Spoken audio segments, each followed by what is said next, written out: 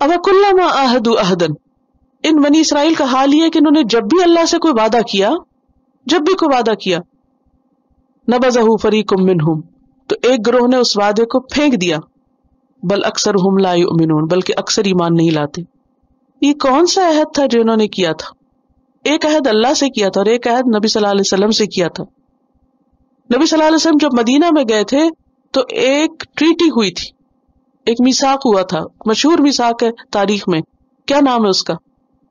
मिसाक Medina treaty of Medina उसमें तीन ग्रोह थे। एक मुशरकिन अरब जो मदीना में थे, एक यहूद थे और तीसरे मुसलमान। नबी सल्लल्लाहु आप और आपके साथी। इन तीनों के तरफ़ एक एग्रीमेंट हुआ था और वो एग्रीमेंट क्या था? उसके कई शिके क्लॉजेज हैं।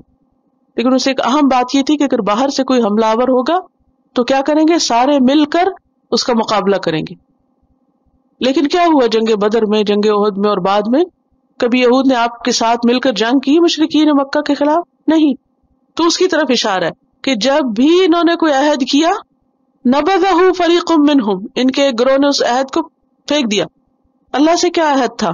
वो पीछे जो गुजर चुका। हम्म? और फिर इनके पैगंबरों की जमाने के आने वाले नबी को मानेंगे। ईमान लाने का वादा था। फरमाया के बजाय इसके कि ये अहद की पाबंदी करते इनके एक ग्रोह ने जो इनके सरदार थे, लीडर से उन्होंने अहद की पाबंदी नहीं की।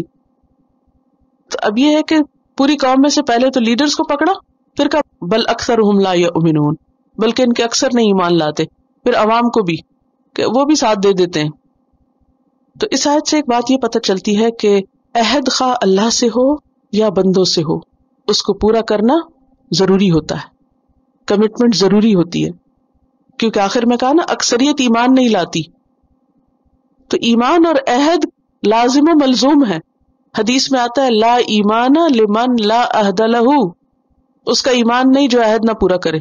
जो वादा पूरा ना करे, उसका ईमान ही कोई नहीं। वो कौन है? बेईमान। उर्दू में कहते हैं ना, बेईमान। तो बेईमान हम कहते हैं धोखेबाज को।